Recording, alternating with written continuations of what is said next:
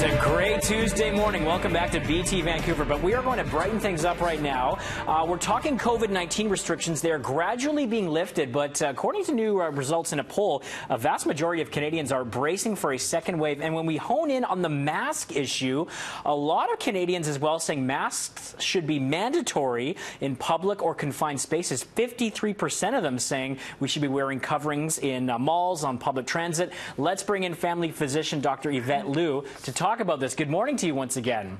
Good morning. Good to see you. Yeah, you too. Let's first of all talk about why do we have these new guidelines for mask use in Canada? So the WHO has new guidelines, and the reason why is because COVID 19 is a new disease. And as we learn more about it, we've been gathering more evidence. And now there is increasing evidence that there are people who are asymptomatic and that these people may be able to spread the virus. There's also increasing evidence of pre-symptomatic spread. So about a day or two before you start showing symptoms, you may be able to spread the virus. Now, the main mode of transmission is still by symptomatic people in close contact, but there are these other contributing means of spread that we want to be cautious about, and mask use may be able to help with that. Okay, let's delve into that little a little bit and look at some of the key changes with regards to who should be wearing masks and when. Give us some of the details on that.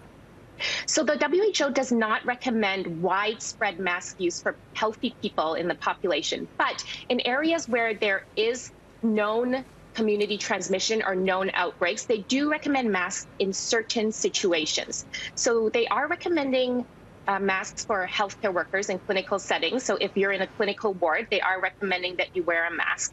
And then for the general public, they're recommending non-medical masks for people when they are in settings where physically physical distancing is impossible. So masks, we have to remember, are just one part of a wider strategy. They don't replace other things. So right. settings in which physical distancing are difficult or impossible would be situations like public transit, a crowded store, uh, if people are living in crowded environments like refugee camps or in slums, at uh, like protest mm-hmm. rallies, and you know, if you are at the hairdresser, you have to be close to someone, or if you're a server at the restaurant, you may have to be close to someone when you put down your their, their food in front of them. So those kinds of situations are when non-medical masks are recommended for the general public.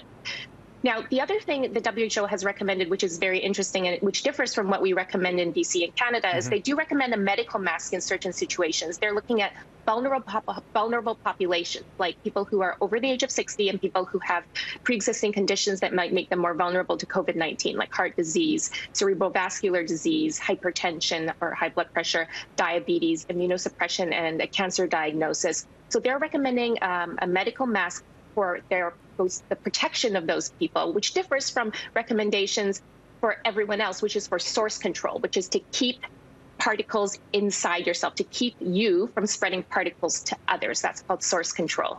So that's all great information from a medical perspective in terms of stopping transmission. But anecdotally, yes. can you speak about the psychology of like if I'm talking to you, say, and we're in a room two meters apart and we both got masks on, does it make someone sort of feel more safe when they're interacting with someone who is wearing a mask? I think psychologically it can make people feel more safe and it can make people feel like they're doing something that, that they're helping out. Um, because the mask is used for source control to help protect you from spreading accidentally the virus to others. It is important to remember that if you're using a mask, you have to use good mask hygiene. Because mm-hmm. if you touch something and then you touch your face to adjust your mask, you could actually give the virus to yourself. And wow. it's important, yeah, it's important, I think, that masks um, that we don't make masks mandatory for everyone because some people can't wear masks. Like children under two should not be wearing masks because they can't take it off, so that could be dangerous. And then certain people who have medical conditions or certain disabilities are also unable to wear masks. So masks should be for specific situations. And as we close it out, what are some of the recommendations from the WHO when it comes to non medical masks and the various types of material that can be used? Yes, so they have given a lot of recommendations in their document about materials. They recommend a three layer mask, minimum of three layers, and then they recommend an outer hydrophobic layer, meaning a water repellent layer. Mm. An inner absorbent layer, and then a middle layer that can be either absorbent or water repellent. And then they do have some notations about different materials. So they look at breathability and filtration factor for the mask, and they want a filtration factor of at least three. So to give an example, um, certain forms of cotton, like a t-shirt that's woven, would have a filtration factor of 7 mm-hmm.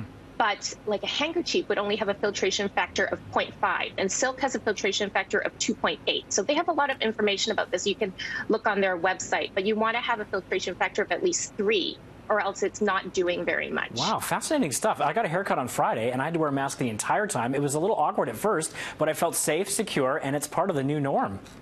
Yes, that's right. Yeah, and in a haircut, you're very close together, yeah, so exactly. you can't physical distance. So that's when that's one of the situations when you probably want to be wearing a mask if you can. Great stuff, Dr. Lu. Thanks so much. We'll get this online for our viewers. We really appreciate your uh, time today. Yes, good to see you. You too. Well, take care there. That's Dr. Yvette Lu, family physician, good friend of BT.